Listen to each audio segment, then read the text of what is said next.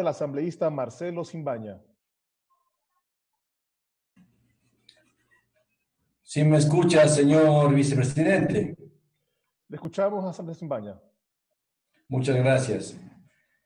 Gracias, señor vicepresidente, por el uso de la palabra.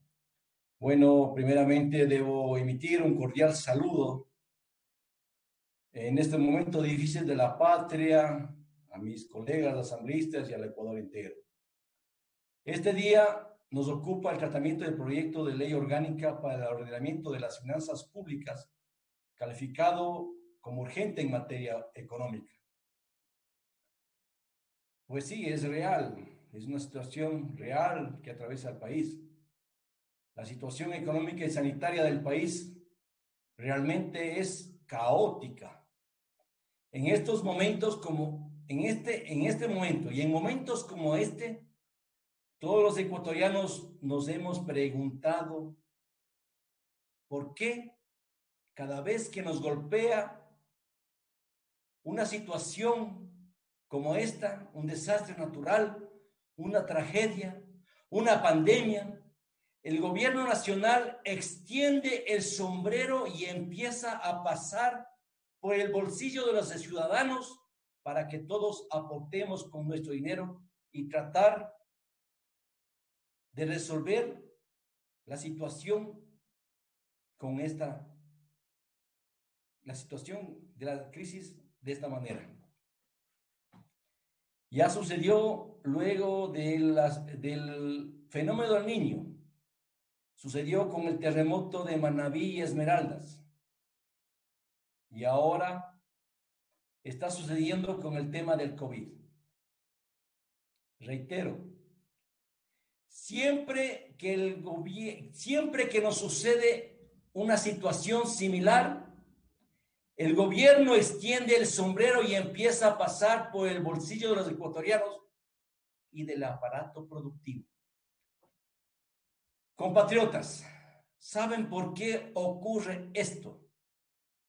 Porque la economía del país es manejada empíricamente, sin planificación, sin anticiparse al futuro, sin prever, sin evidencias de una política de ahorro, es decir, sin un sentido de disciplina en la administración de la economía.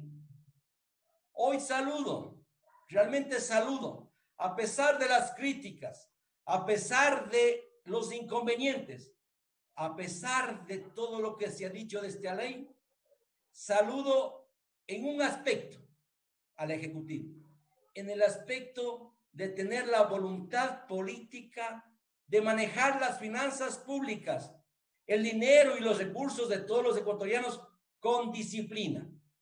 Saludo eso. Eso realmente saludo. Y en esta materia y en ese contexto, deseo hacer algunas puntualizaciones que servirán y nutrirán el debate sobre esta ley como son, por ejemplo, el manejo del endeudamiento público, de la deuda pública, el manejo del gasto público y la creación del Fondo de Estabilidad Económica. En el proyecto original, el Ejecutivo propone una regla fiscal sobre la deuda pública, que el total de esta no supere el 40% del Producto Interno Bruto. Pero, el gran pero, es que esta misma, en estos momentos, ya supera el 50% del Producto Interno Bruto. Ante esta situación, me surgen dos preguntas. La primera, ¿Cuánto tiempo tardaremos en alcanzar este límite? La segunda, ¿qué vamos a hacer para llegar a dicho límite e implementar la regla fiscal propuesta por el Ejecutivo? Haciendo las investigaciones pertinentes y habiendo consultado con los más expertos de los economistas, hemos llegado a la conclusión que para llegar a este límite nos llevaría por lo menos unos ocho años. En este ámbito, colegas asambleístas, señor vicepresidente, y el Ecuador entero, proponemos que como, punto de partida que se declare un periodo de estabilidad económica para poder implementar paulatinamente una política de desmonte de la deuda. Una vez alcanzados los rasgos permisibles y aceptables, se podrá ejecutar la regla que plantea el Ejecutivo. Incluso para tener mayor eficiencia y control. Ojo, control. Es una palabra que le ha faltado ejecutar al gobierno. Control, control en el manejo de la deuda pública. Presentamos dos reglas adicionales para el manejo de la misma. Uno, que el servicio de la deuda pública no supere el 30% de los ingresos permanentes. Y dos, que los gastos financieros de la deuda no superen el 10% de los ingresos permanentes. Por otra parte, es imperativo una reducción gradual del gasto público durante este periodo de estabilidad económica de ocho años. Es decir, una disminución del 0.02% de los gastos totales del ejercicio fiscal anterior hasta lograr el, el equilibrio presupuestario, es decir, donde los ingresos sean iguales al gasto público.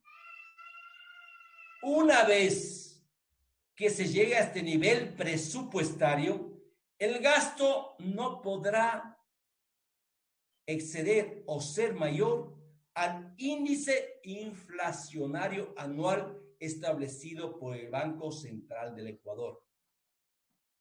Por otra parte, consideramos que es un despropósito que el gobierno proponga la creación de un fondo de estabilidad económica que carece de objetivos y niveles de operatividad. Por ende, proponemos la creación del Fondo Económico de Estabilidad Financiera, FEDER, que operará como un fideicomiso mercantil administrado por el Banco Central del Ecuador. Su propósito debe ser y será reducir la deuda pública y a partir de ello realizar inversiones sociales y productivas en el país.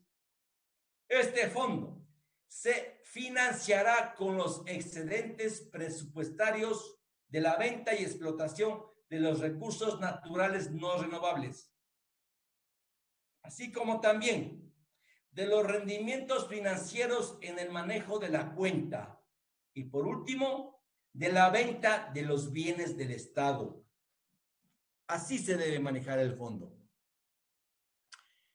Este Fondo Económico de Estabilidad Financiera se destinará en un 70% para reducir, negociar o reperfilar la deuda pública, en un 20% a la atención de situaciones de calamidad pública, desastres naturales y o pandemias, y en un 10% para capitalizar al Banco Central del Ecuador y a las reservas nacionales que debe tener nuestro país. Colegas legisladores, en lo relacionado con la seguridad social, debo añadir lo siguiente.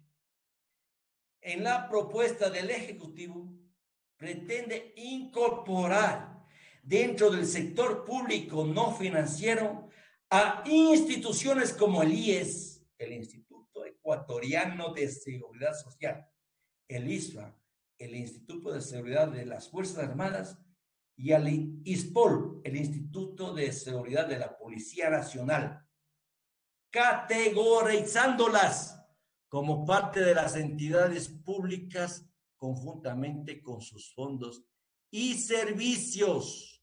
En este sentido, distinguidos asambleístas, debo denunciar que este planteamiento del gobierno es inconstitucional, porque de acuerdo al artículo 372 de nuestra Carta Magna, dichas instituciones son entidades de derecho público con autonomía administrativa y financiera que se alimenta de los aportes personales y patronales de sus afiliados y donde ningún organismo del Estado podrá disponer o intervenir de sus fondos y reservas. Peor aún, menoscabar su patrimonio. Esta es una clara transgresión a la Constitución, por cuanto los recursos de la seguridad social serían empleados para fines distintos a los de su creación como es la inversión pública, que nada tiene que ver con la seguridad social.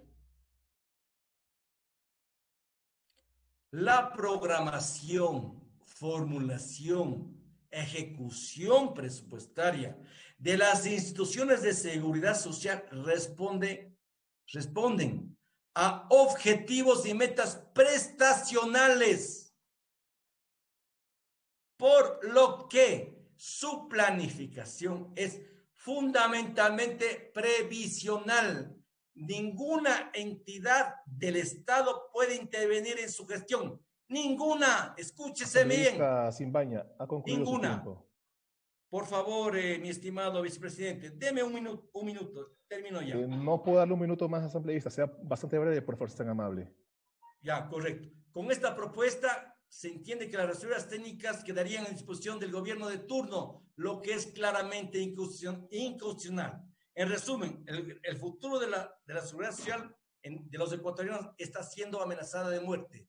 Colegas asambleístas, los invito a hacer lo correcto y lo responsable. Para terminar, mi señor vicepresidente, el Ecuador se levantará como el ave fénix, con el trabajo y sacrificio de todos los ecuatorianos Gracias, señor vicepresidente. Gracias.